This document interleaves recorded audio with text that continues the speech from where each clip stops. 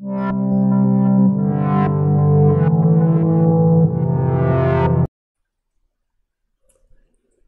Jim Howard here in Fort Worth, Texas. Today's date, it's uh,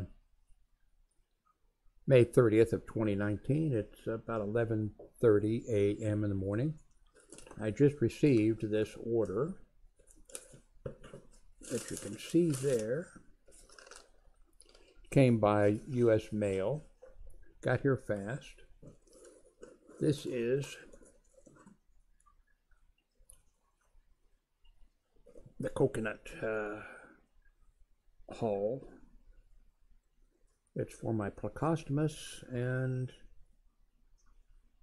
they really want a place to hide. But you know, I don't think this is really big enough. I don't know.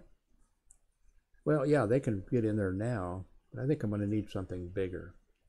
But this is going to go in the tank. They'll be very happy. They try to hide behind a plant or underneath a plant. So I'll be putting this in the tank in a little bit. I got this to go over the intake of my uh, external filter on the back because I don't expect any fish babies uh, for a long time, but I want to make sure they don't get sucked up in there. Uh, I got this because Plecostomus and other fish are supposed to uh, like it. Let's see if it's listed. Yeah, there it is at the bottom, the six inch. So I'll be putting that in the tank here in a little bit. Oh, I definitely want to put these in right now while you're watching. Of course, you don't have a very good, uh, but I don't think the fish have been getting, especially Plecostomus, I want to drop one of these in here right away. I don't think they're going to starve to death in the next few minutes, but I've been using just a flake food. I've been trying, and I've been having to overfeed a little bit, hoping that they will. Uh, of course, they've been going over the plants, of course, the, the uh, and the glass, but don't think we have any algae really in there yet. And the tank is only a couple weeks, you know, set up. Um, but I want to drop one of these in immediately. And then I'll stop this video, but don't touch the mouse because I'll uh, move the camera over. And, well, I don't think I'm going to let you, you don't need to see me putting stuff in there, but once I get the stuff in there, so hang on a second. I want to get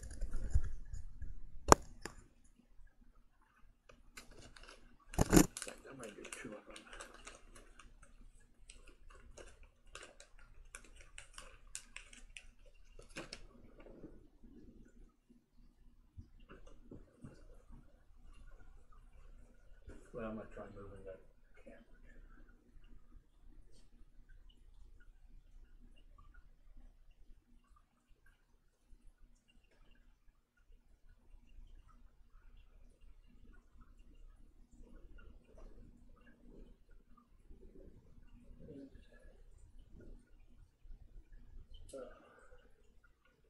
Really not long enough here.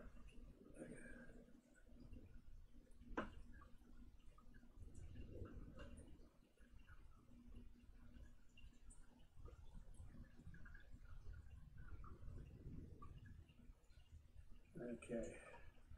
I need to go full screen too. Let me put this, this in there.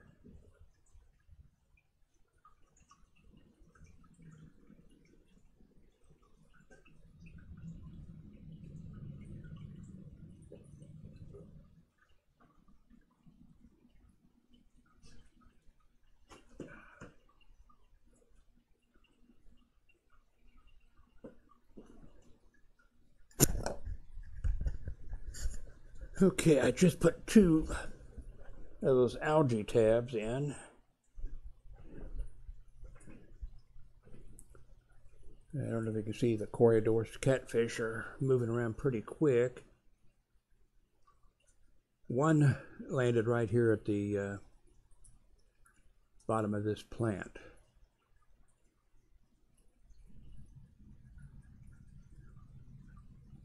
Uh, I don't see where the other one is. Plecostomus. One is back on the back of the aquarium heater.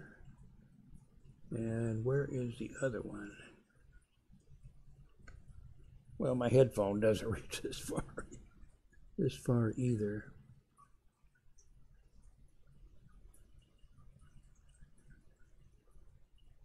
Well, let me get the rest of this stuff out of the uh, paper.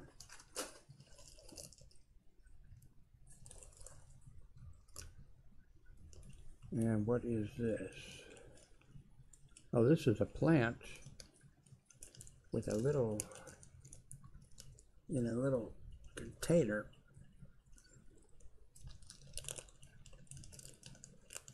Yeah, hang on a second.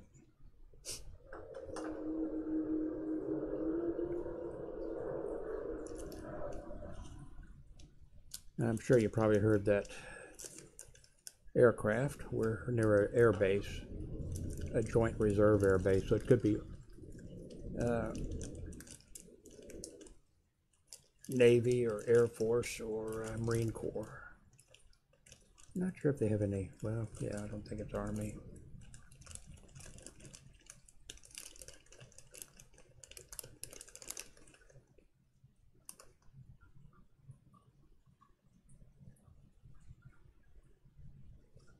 Okay, we got this plant out. Ouch, getting water here. It's in good shape. Okay, ouch.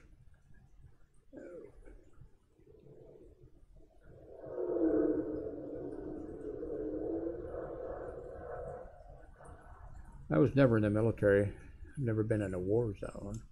Can't imagine being somebody in Iraq or someplace and hearing those aircraft and knowing that they were, uh, you know, going to drop some bombs or attack. Marble Queen, let's see. Uh, here it is. I'm not sure. Let me pull this little thing out, see if I can read it. I. Uh,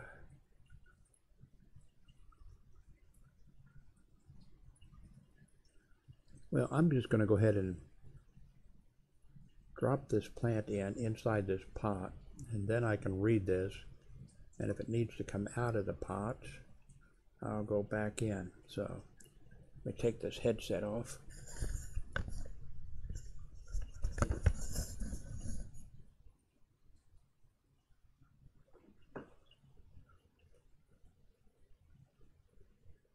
You know you're gonna get blinded by the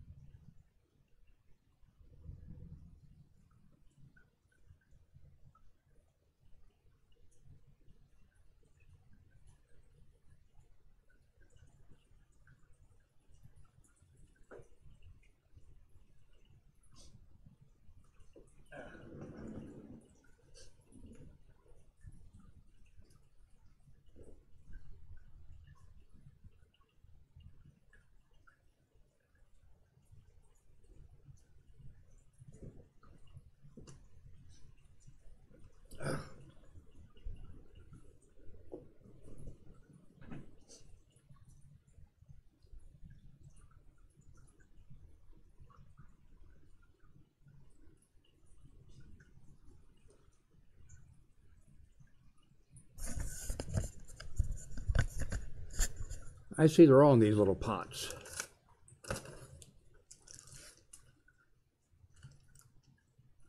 So I don't think this is working very good because of the uh, camera setup and stuff. So I'm going to stop here, but don't touch the mouse. I'm going to put this stuff in the tank and uh,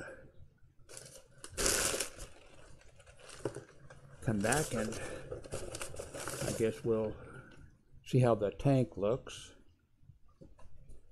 And uh, maybe I'll use a different camera. Come back see how the tank looks.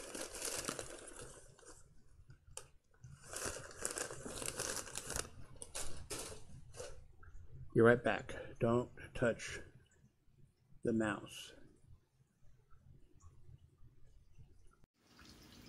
Okay, here is the uh, algae wafers that I put in.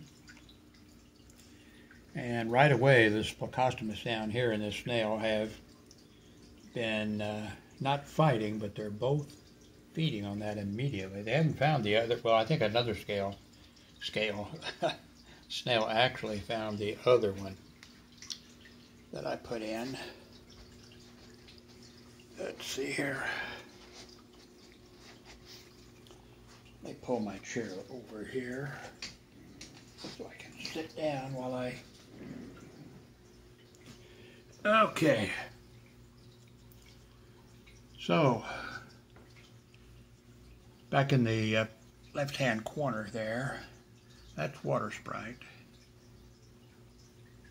It's one of the new ones I got. I put the uh, filter on the uh, intake back there.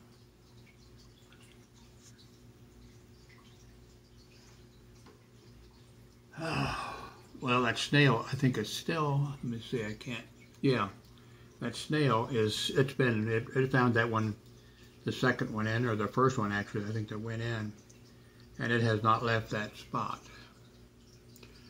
So, I put that uh, coconut little thing back there in the corner for the Plecostomus. And I've got that piece of wood, but the wood will float. So I threw a little bit of gravel on it, but I may have to uh, figure something else to keep it from uh, going up to the top of the tank. I added more water to the tank. And that uh, cut down on the splashing sound from the water hitting there, cut down a lot on that. So that's the tank. I know there's not very many fish in it, and I'm thinking about, you know, eventually ordering in maybe uh, some shrimp, red shrimp. Uh, I'm not sure what else. I'm in no hurry to add. I'm really wanting the plants to really, you know, grow out. So that's the tank and that's what I uh, what I got today. The plants that have been in there have they're doing uh, they're doing well except for one over here which I think in fact I can just barely see the red leaf on it. I think it got eaten by one of the snails or something. It wasn't very big to begin with.